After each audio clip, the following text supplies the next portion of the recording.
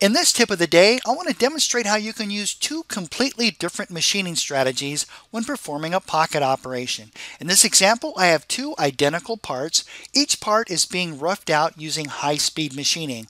I'm going to give you a different example on each one of these. So let's head over here to the NC Manager. I'm going to right-hand mouse click on this first high-speed pocket operation. Let's come down here to Edit Operation. And what we're going to do is we're going to quickly push through these menu dialogues until we get to this menu right here here. And where it says last cut, I'm going to select this. I'm going to tell OneCNC to remove 30 thousandths for the last cut. Now notice how I can use a completely different machining strategy for the last cut. On this one, I'm going to use high speed zigzag. Also notice how you can override the original speeds and feeds if you want to for this finish pass. I'm not going to do this right now. I'm going to leave that unchecked. Let's just click next and push all the way through and hit finish. I'm going to select where I want the tool to enter because I've already pre-drilled that. That looks good. And so what we've done now is we've used high-speed roughing to rough the pocket out. And then for the last 30 thousandths, we used high-speed zigzag. Let's do something a little bit different on this pocket. Let's go back to the NC Manager, right-hand mouse click.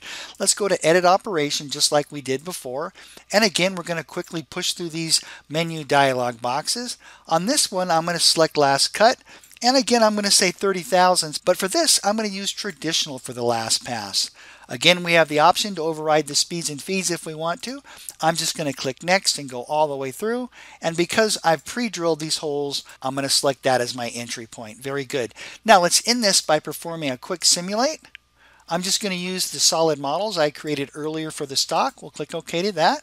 So there's our drilling. Now we're going to use that hole to enter into the pocket for our high-speed roughing. And within the same cycle now, we're going to use zigzag, high-speed zigzag, to remove the last 30 thousandths. Now in this last example, again we're using high-speed rough to rough the pocket, but now we're going to use a traditional concentric style toolpath to machine the remaining 30 thousandths. Very nice. Alright, that's it for this video. Thank you so much for watching, and I look forward to seeing you in the next tip of the day.